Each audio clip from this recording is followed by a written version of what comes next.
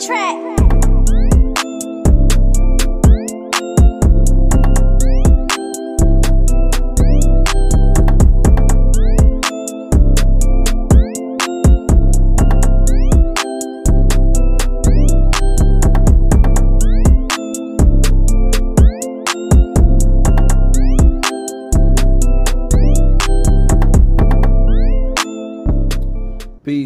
Peace. Welcome back to my YouTube channel. For those of you who don't know, it's your boy Vic Slang Hope, and I got another video for y'all. In this video, we're going to be doing a little arts and craft, okay? I'm going to be showing y'all how I made my banger. You know how the OGs showed me. Um, and before I get into that, listen, man. If you get up there in the mountains with them crackers, and you follow the rules that I gave you, and you get caught, you ain't get it from me. You heard? Alright. So now, boom. The finishing results is probably going to be something like this. Now, this thing, it's, it's a little decent size to do a little damage, if you know what I'm talking about. You feel me? But, so boom. and before I get into the video, if you like my content, make sure you like, you share it, you subscribe to the channel, man. You know, if you if you fucking with me, man, subscribe to the channel, man. It don't hurt. You know, so it could circulate so other people can see this. You never know who life you might change. But anyway, the skill of weapon making in the prison system is is is very amazing, right? Because it's like it just shows you the creativity that we possess as a people and we don't really apply it, man. Like we people be making all type of stuff in the prison system. They make barbecue sauce out of scratch. They be making they be doing yo the way people be cooking in there and just finding out ways to chef it up to make weapons to to improvise to make little um little um small little holders for your radio like just the, the stuff that people put their mind to in prison bro if they put their mind to that in the street they'll be killing the game. But we only seem to, to, to use our brain when we like in some tough situations. But anyway so boom before I even get into this, I just want to say this. I'm not here to promote violence or negativity, but you, as a man, you have a responsibility to be safe, not just for yourself, but also for your family when you are amongst your family. But when you are away in that place, you only got yourself. You can't depend on the guards. You can't really depend on your mans and your peoples. Like, you only really got yourself. It's good if you got a little help, but as a as a man, you should never feel comfortable in somebody else going out for you like you will go out for you. I'm just saying. So, like the in the words of the of the of the OG Sheikh, he told me, listen, man, it's better to have it and not need it than need it and not have it.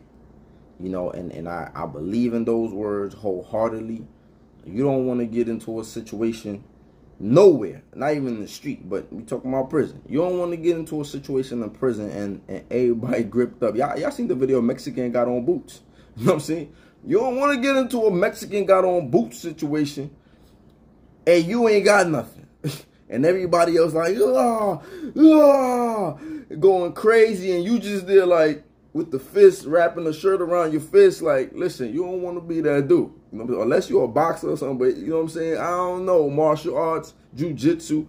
You don't want to be that dude. You know what I'm saying? Everybody start pulling out shit. You know what I'm saying?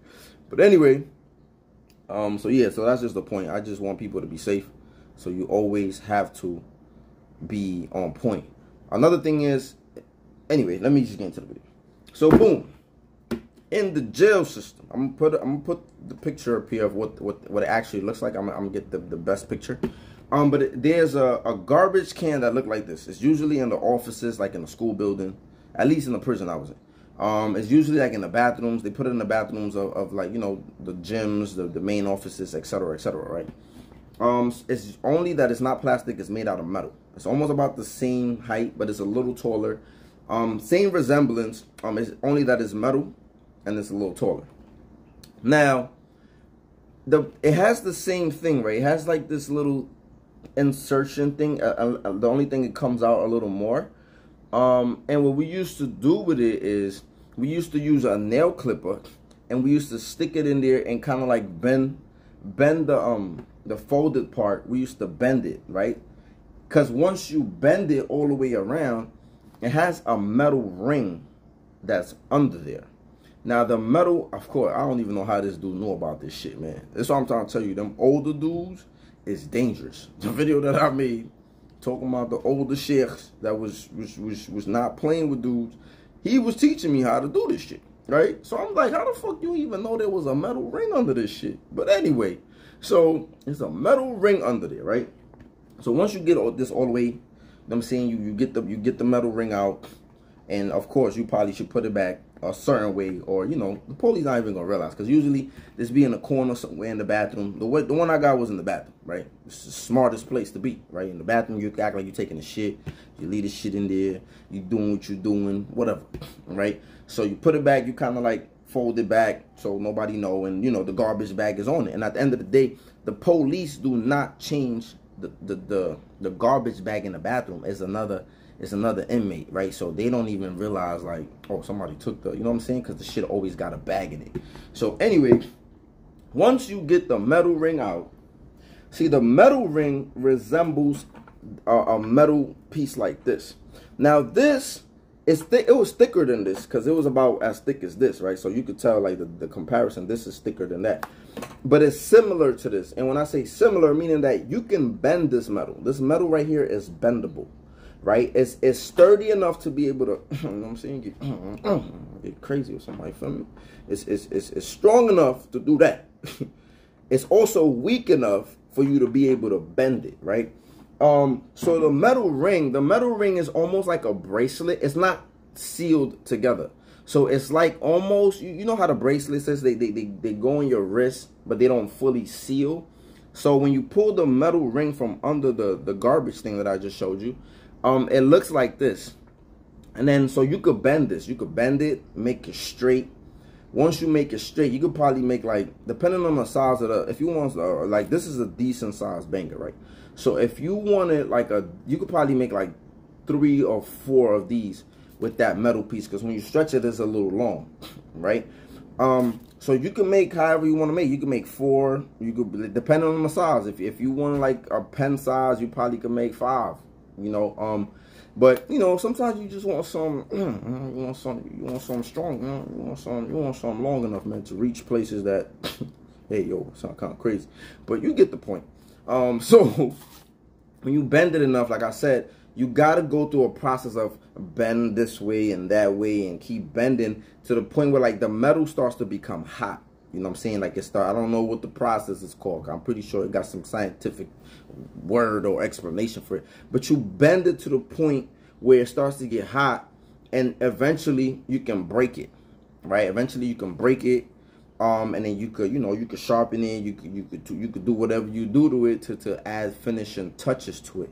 Now, um, some people also put like a string at the end of it just just so it could give their hand a little more grip you know, because look at this. Even after you grip it, like it still gives you enough length to do damage. And if you just hit somebody in the neck, like even if you hit like somebody in the, in the stomach or whatever, like I don't know. I'm not going for nobody's stomach. I'm sorry. Like that's why I always, anytime I had a situation, I was not quick to go get my weapon because at the end of the day, it got to be a serious situation for me to go get that shit. Because if I get that shit, I'm not stabbing you in your back. I'm not stabbing you in your stomach.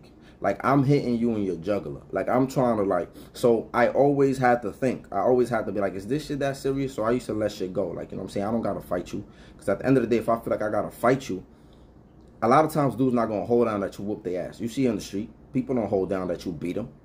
You beat them up, they go get a weapon, they'll shoot you. So it don't even make sense to fight, even in the streets. That's why I don't be walking around here trying to fight people. The same thing, same way I was in prison.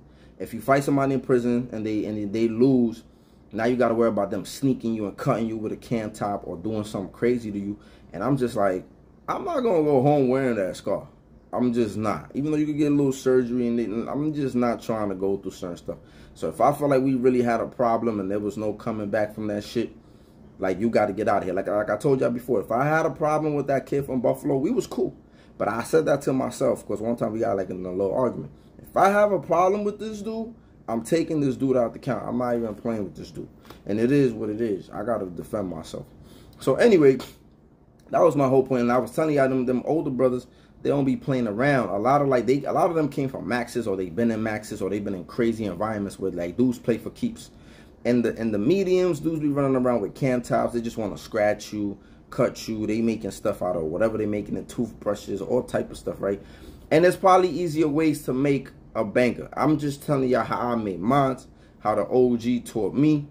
And that's what I have for the rest of my bed. It's crazy because I left. Usually when somebody leave, they leave the banger to somebody else. I was Muslim, so, you know, you leave it to another Muslim. You tell a Muslim, oh, yo, hold this down. You know what I'm saying? Like, I ain't even get to do that.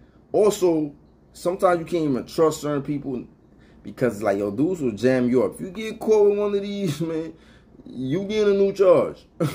you get a new charge, and a new charge could cost you like three more years, one or three. A lot of times they give you a one or three added to your thing. Sometimes they run it concurrent, but yeah, man, you get caught with one of them things, and then man, you you, you going down.